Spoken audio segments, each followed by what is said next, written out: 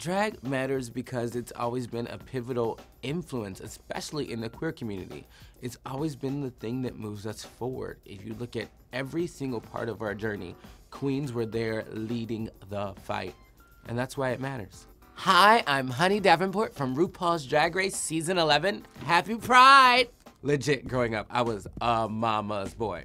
Um, and like being queer was just something I hadn't talked with my mom about, and it was just so strange that I was just like, how can I talk to you about everything and not this? You know, not the fact that I like the D. So when my boyfriend broke up with me, I was like devastated. And I called my mom and it's 2 a.m. in the morning and I'm sobbing. Like I and I don't like pretty cry, so this is like an ugly cry moment. And I'm like, Mom, are you sleeping? Are you sitting down? What you doing? She's like, baby, I'm in this bed. This better be real important. And I was like, listen, mom, you know, I just have to tell you that I'm gay and I've hurt myself for 19 years to spare your feelings, but I can't do this any longer.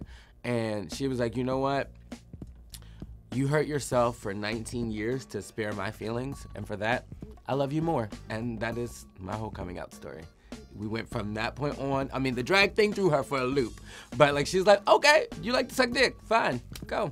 I think drag is when someone uses themselves as a medium for art. It's just basically you are the canvas and it's all encompassing. It like goes on multiple levels, whether you use it with your music or you use it with acting or you use it with your fashion. And there have been people who are high up in every industry who use like a persona as the canvas for their art. And to me, that's what drag is. The final look, hunties, the Honey Davenport illusion. It is just another platform, another medium in which I can express myself. Drag has always been important in our community. It has always been a revolutionary game changer. Art is just a mirror held up to life.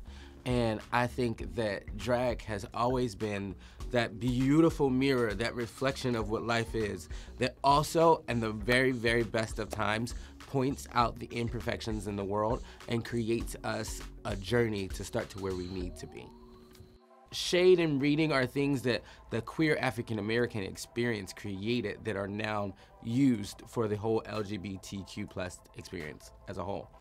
Wow, that's a lot of whole.